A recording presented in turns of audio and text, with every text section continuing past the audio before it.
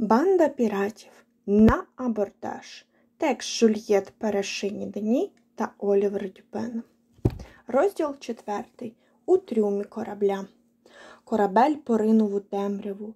Головна палуба була порожньою і спокійною.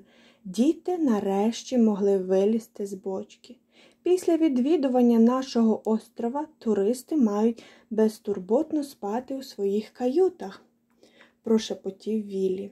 Ми зможемо вирушити на пошуки Анни, додала Марій вилізла першою, мимоволі опираючись на голову свого старшого брата. Коли Томас виліз, то з'ясував, що циліндр його батька пом'ятий, але бракувало часу, щоб засмучуватися. Діти швиденько переодягнулися і поскладали одяг у великий полотняний мішок. Раптом Віллі, приклавши палець до губ, вказав у напрямку дверей, що вели в трюм корабля. Опершись на поруччя, капітан пильно стежив у підзорну трубу за морем. Нам слід змусити його піти звідси, прошепотіла Марі. Томас дістав рогатку і навів її на дзвін, що зазвичай додавав сигнал тривоги. Здивований капітан побіг у інший кінець корабля.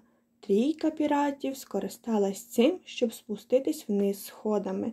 Там було темно. Ліхтарі на стінах світили слабко, удалині було чутне хропіння матросів. Друзі знайшли у трюмах великі бочки вина та ящики, наповнені харчами. Діти просувались уперед крадькома, під ногами рипіла підлога. Несподівано почулися жалібні голоси. Можна нам щось попити? Юні пірати наблизились і побачили двох дітей, прикутих за ноги важкими ланцюгами. Вони сиділи на брудному матраці і гризли окраєць хліба. Помітивши Марій, дівчинка дуже зраділа і вигукнула Я тебе впізнала. Це ти нещодавно зі мною розмовляла. Марі була шокована побаченим, тому мовчала. Томас оговтався першим. Мене звати Томас Вогняний, а це моя молодша сестра Марій та наш друг Віллі. Намагаючись підвестися, маленька рабиня також відрекомендувалась. Я Анна, мого брата звати Пауло. Капітан цього корабля вкрав нас у наших батьків. Відтоді він змушує нас працювати без відпочинку. Марі вигукнула Жахливо.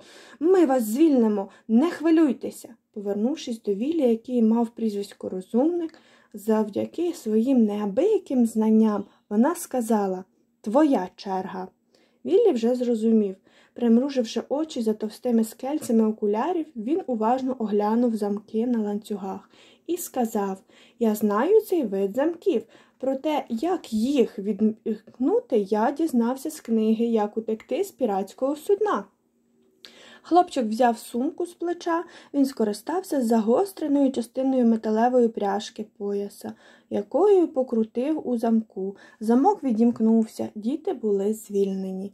Діти поквапились до виходу з трюму, щоб залишити судно. Коли вони підіймалися по сходах, то відчули сильний поштовх під ногами. Що це? запитав малий Пауло.